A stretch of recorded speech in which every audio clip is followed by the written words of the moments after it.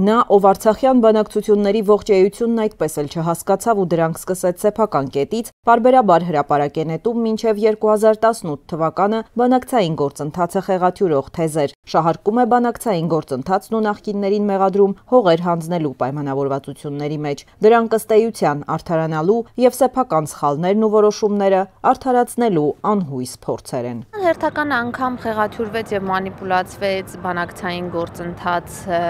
որը եղել էր մինչև այդ, հերթական անգամ փորձանելով արդարանալ, արդարացնել սեփական որոշումներն ու քայլերը, Փաշինյանը չկանգնեց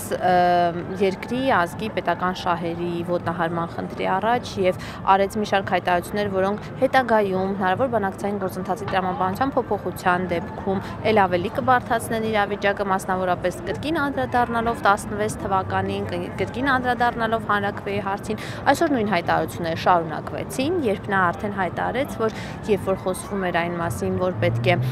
կարգավիճակի սկզբից համաձայնեցվեն սկզբունքները, իսկ հետո լինի համաձայնագրի բանակցում, որին պետք է մասնակցի նաև Լեռնային Ղարաբաղը, դա ենթադրվում էր, որ նաև ադրբեջանցիները, իսկ ադրբեջանցիները կդնեին այսպիսի պահանջներ եւ այլն եւ այլն։ Այսինքն սա հերթական անգամ մենք ականատես ենք լինում նրան, որ Նիկոլ Փաշինյանը բարձրաձայնում է ադրբեջանական սուբյեկտիվ մոտեցումներն ու ընկալումները եւ դա փորձում հայ հանրությանը մատուցել որպես ճշմարտություն եւ միակ հնարավոր ելք, ինչը բնականաբար որևէ կերպ հայկական կողմի շահերից չի բխում։ Փաշինյանը փորձում էր պատերազմի մեղքը բարթել նախկին բանակցողի Սերժ Սարգսյանի վրա հիմնավորելով դա նրանով, թե նախորդ բանակցողի ստացած արդյունքը կրկին լինելու էր պատերազմը, իսկ պատերազմի անխուսափելիությունը առավել համոզիչ դարձնելու համար մեջ բերեց Սերժ Սարգսյանի նախկինում արված ելույթից հատվածներ ու եկավ եզրակացության, որ պատերազմի համար մեղավոր են նախկինները։ Էլի ես նույն ամբիոնից ասել է, որ այլևս շատ երկար ժամանակ չպետքա հույս ունենանք,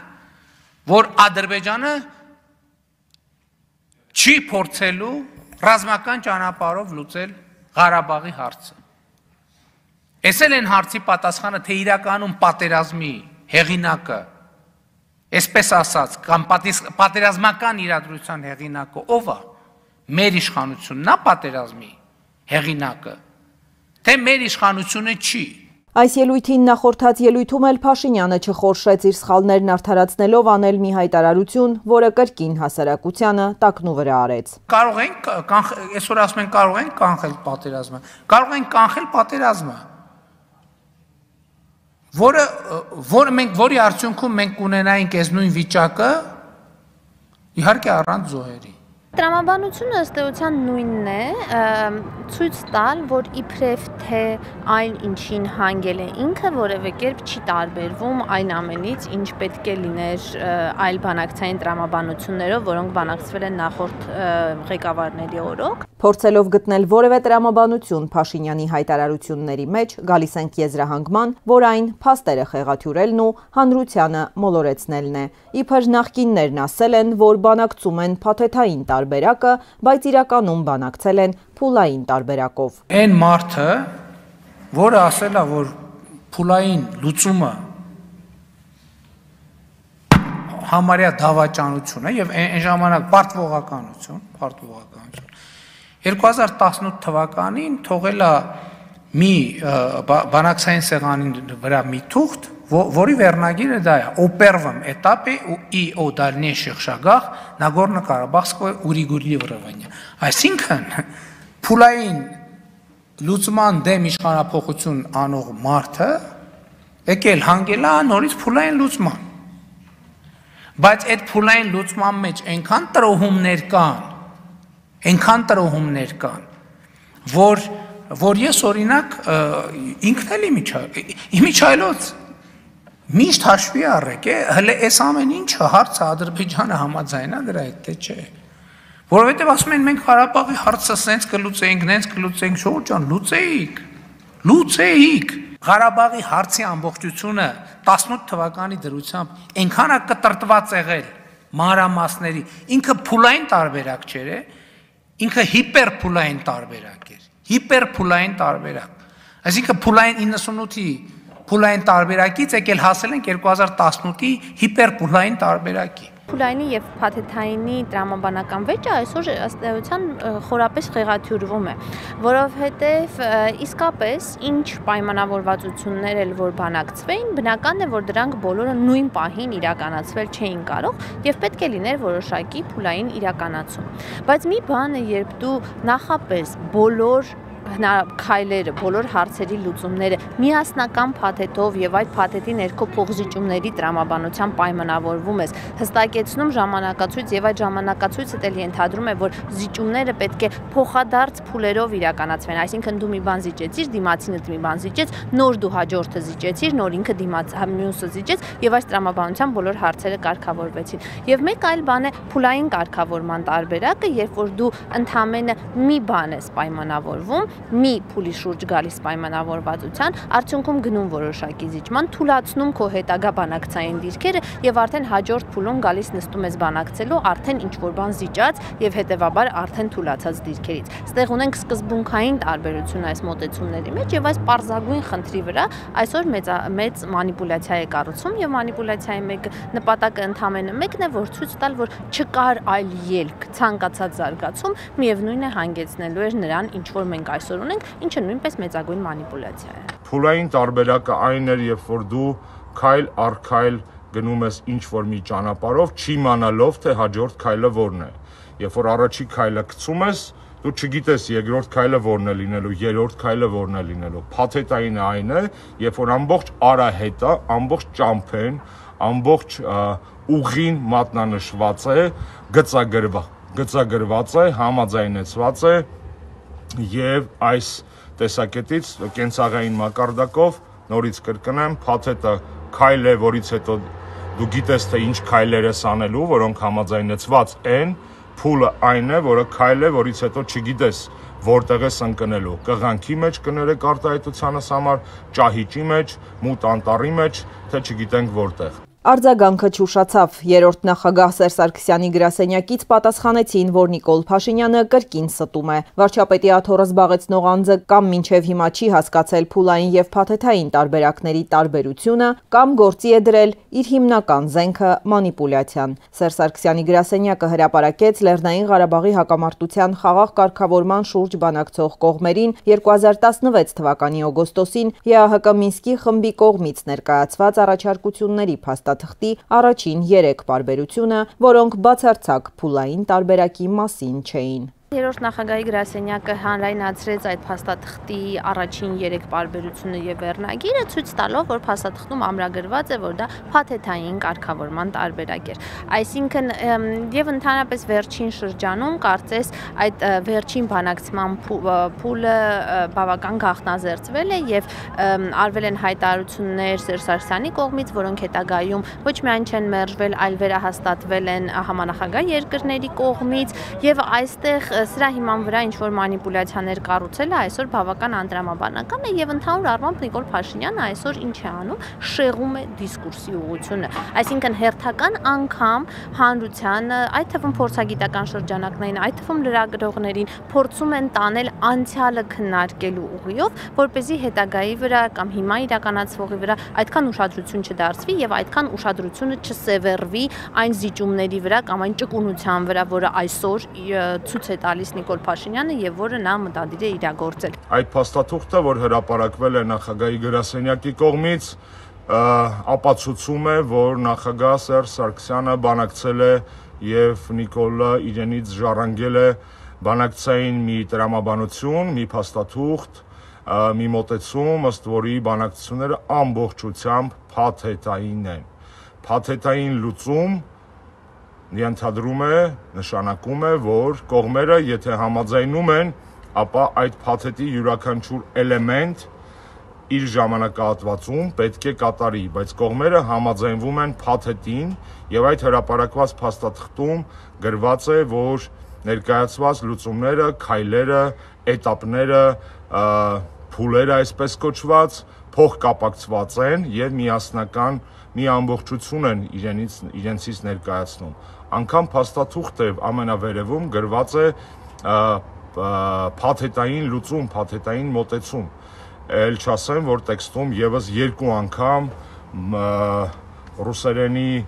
իմացության չփայլող Նիկոլ Փաշինյանն անգամ կարող էր այդ փաստաթուղթը, որը նա ունի իր թղթապանակում, կարդալ եւ հասկանալ, որ այն ստերը, որ նա այսօր փորձում էր տարածել, կատարյալ զավեշտ են, կատարյալ անբարոյականություն են։ Հետևաբար Սերժ Սարգսյանը ծանոթանալով այդ փաստաթղթին դուք կգաք այդ եզրահանգման վստահ եմ ինքնուրույն բանակցել է եւ թողել է այս արարածին փաթեթային լուծման տարբերակ, որը որթեգրվել է Մինսկի խմբի համանախագահների կողմից եւ ստացել է մի սոարիուն համապատասխան փաստաթղթերի ձևով։ Իդեպ ԵԱՀԿ Մինսկի խմբի մասին նույնպես Փաշինյանը կեղծ տեղեկություններ հաղորդեց իբր 2016-ի դրությամբ Լեռնային Ղարաբաղի կարգավիճակի հարցը դուրս է եկել ԵԱՀԿ Մինսկի խմբի ձևաչափով տեղի ունեցող բանակցությունների տիրույթից, այսինքն ըստ նրա միջազգային հանրությունը պետք է լուծեր այս հարցը, իսկ միջազգային հանրությունը կարող էր լուծել իբր մի շարք անառարկելի սկզբունքների շրջանակում։ Ղարաբաղում 88 թվի դրությամբ եղել են ադրբեջանցիներ Հնարավոր չի այդ ընկալմամբ, իրանց ընկալմամբ։ Նաև, հա, նաև ադրբեջանցիներ, հա, իհարկե, որոնք հեռացել են։ Միջազգային հանրության ընկալմամբ հնարավոր չի այդ հարցը հասցեագրել առանց Լեռնային Ղարաբաղի ադրբեջանցիների իրավունքների պաշտպանության։ Եվ ըստ էության բանակցային փաթեթում այդ ամենին չկա։ Ես դրա մասին մի քանի անգամ խոսել եմ։ Եվ մադրիդյան սկզբունքներում էլ կա։ Ինչպես սա է մանիպուլյացիա, այնպես էլ թեզը, որ մենք դեռ 16-ին կորցրել ենք Ղարաբաղի ինքնորոշման իրավունքի իրացման հնարավորությունը, իսկ ինչ վերաբերում է համանախագահության ձևաչափից դուրս գալուն, այս մոտեցումը երրորդ նախագահը բարձրաձայնել հանրայնացրել էր, թե ինչ տարբերակ է քննարկվել վերջինը, որ բանակցվել է իր կողմից, ինչը ենթադրում էր, որ այն փաստաթուղթը, որը որ պետք է ստորագրվեր կողմերի միջև, չէր ներառում կարգավիճակի վերաբերյալ տվյալ ձևակերպում, այդ ձևակերպումը տեղ էր գտնում համանախագահների հայտա համանախագահ երկրների հայտարարության մեջ, որտեղ ամրագրվում էր, որ կարգավիճակը պետք է որոշվի հանրակրվեի միջոցով, եւ այդ համանախագահների հայտարարությունը վերահաստատվում էր ՄԱԿ-ի կողմից, այսինքն ստեղ ոչ թե ՄԱԿ-ը սահմանում էր ինչ կարգավիճակ, այլ ՄԱԿ-ը իր հայտարարությամբ ամրակ պետք է ամրագրեր, որ կարգավիճակի հարցը պետք է կարգավորվի հանրակրվեի միջոցով։ Այս համենայն դեպս ըստ Ծեր Սարգսյանի կողմից գաղտնազերծված հայտարարության, որը վերահաստատվեց նաև Ռուսաստանի արտգործնախարարության խոսնակի կողմից։ Հետևաբար խոսել, որ կարգավորման հարցը հանվել է համանախագահության շրջանակներից տարվել է ՄԱԿ ամբիոն եւ այլն, դա մեծագույն մանիպուլյացիա է, ըստ էության ընդամենը ՄԱԿ-ը տվյալ դեպքում հանդես էր գալուս որպես հերթակ երաշխիք որ այդ պայմանավորվածությունները կյանքի կկոչվեն կամ որ այդ սկզբունքը կդրվի կարգավորման հիմքում։ Լեռնային Ղարաբաղի բանակցային գործընթացը միտումնավոր նենգափոխող եւ բանակցությունները ձախողած բանակցողի համար եւս մեկ անգամ մանրամասնում ենք, թե ինչպես է իրականում ընթացել բանակցային ամբողջ գործընթացը սկսած 1992-ից եւ ինչ փաստաթղթեր են եղել բանակցային սեղանին։ Հայաստանի եւ Արցախի նախկին ղեկավարներից ոչ մեկը չի ստորագրել կարգավորման որևէ փաստաթուղթ։ 1992-ից ի վեր ստորագրվել է բացառապես 1994-95-ի հրադադարի երակողմ համաձայնագիրն ու դրա ամրապնդման միջոցառումները։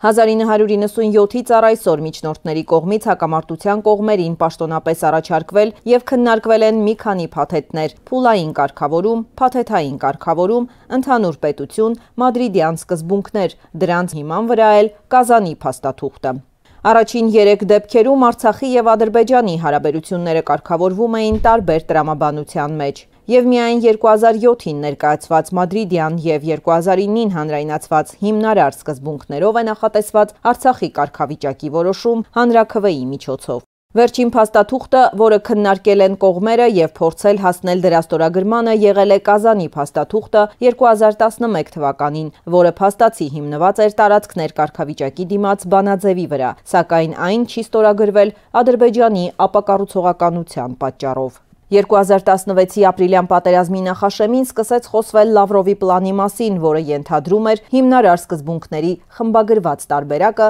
փաթեթային կարգավորում, սակայն այն երբևէ հստակ ձևակերպված փաստաթղթի տեսք չի ստացել։ Հայկական կողմերն էլ դրա վերաբերյալ կարծիք չեն արտահայտել։ Դրա փոխարեն հայկական կողմերը մշտապես շեշտել են կարգավիճակի հարցի լուծման առաջնահերթությունը։ 2016-ի ապրիլյան պատերազմի սանձազերծումն ավելի է մեծացրել Ադրբեջանի վրա միջնորդների ճնշումը որպես պատասխան իր ապակառուցողականությանը եւ Ալիևը ստիպված է եղել գնալ Վիեննայի, Սանտ Պետերբուրգի, Ժնևի պայմանավորվածություններին հետաքննության մեխանիզմների ներդրման մասին։ Զուգահեռ 2016-ի հոկտեմբերին Ալիևը խոստովանել է, որ իրեն ստիպում են ճանաչել Արցախի անկախությունը ինչը նշանակում է, որ առաջարկվող կարգավորման տարբերակը ենթադրել է կարգավիճակի հարցի կարգավորում ինքնորոշման իրավունքի իրացման հիման վրա, այսինքն Արցախի անկախության հրճակմամբ եւ ճանաչմամբ։ 2016-ից 18 թվականներին բովանդակային բանակցություններ գրեթե չեն եղել։ Վերջին շրջանում անընդհատ շահարկվում է տարածքների վերադարձի հարցը, սակայն տարածքների վերադարձ դիտարկվել է մինչ օրս արկա բոլոր փաթեթներում եւ առաջարկներում։ Որպես կարևոր սկզբունք պետք է հստակեցնել, թե ինչի դիմաց պետք է վերադարձվեն տարածքները՝ Արցախի կարգավիճակի, թե պարզապես խաղաղության խոստման։ 2018-ի հունվարի 18-ին Լեհաստանի Կրակով քաղաքում ԵԱՀԿ Մինսկի համանախագահների նախաձեռնությամբ տեղի է ունեցել Հայաստանի եւ Ադրբեջանի արտգործնախարարներ Էդվարդ Նալբանդյանի եւ Էլմար Մամեդյարովի հանդիպումը։ Հենց այդ ժամանակ էլ փոխանցվել է Արցախի հարցի կարգավորման սևագիր փաստաթուղթը, որն այսուհետ կկոչենք Կրակովյան։ Լեռնային Ղարաբաղի հակամարտության համապարփակ կարգավորման վերջնական նպատակներն են. 7 շրջանների՝ Աղդամի, Ֆիզուլիի, Ջեբրայիլի, Զանգելանի, Ղուբաթլիի, Քելբաջարի եւ Լաչինի վերադարձը Ադրբեջանին, պայմանով, որ պահպանվում է Լեռնային Ղարաբաղը Հայաստանին կապող միջանցքը։ Խաղաղապահ միջազգային ուժերը կտեղակայվեն նախկին Լեռնային Ղարաբաղի ինքնավար շրջանի վարչական սահմանների երկայնքով բացառությամբ Քելբաջարի եւ Լաչինի շրջանների մաս կազմող հատվածների։ Քելբաջարի շրջանը կմնա ԵԱՀԿ անցումային մշտադիտարկման տակ։ Մինչ վերջնական կարգավիճակի որոշումը Լեռնային Ղարաբաղը պետք է օժտվի ժամանակավոր կարգավիճակով, որը կերաշխավորի նրա ամենօրյա կենսագործունեության կազմակերպումը։ Փաշինյանին առաջարկվել է ընդհատված բանակցությունները շարունակել նույն կետից, սակայն նա հրաժարվել է ու հայտարարել, որ բանակցելու է իր սեփական կետից, այնպես որ կարող էինք կանխել պատերազմը, բայց կունենայինք նույն իրավիճակը ուղակի առանց զոհերի հայտարարությունը միայն մանիպուլյացիա է եւ ինքնախոստովանական ցուցմունք։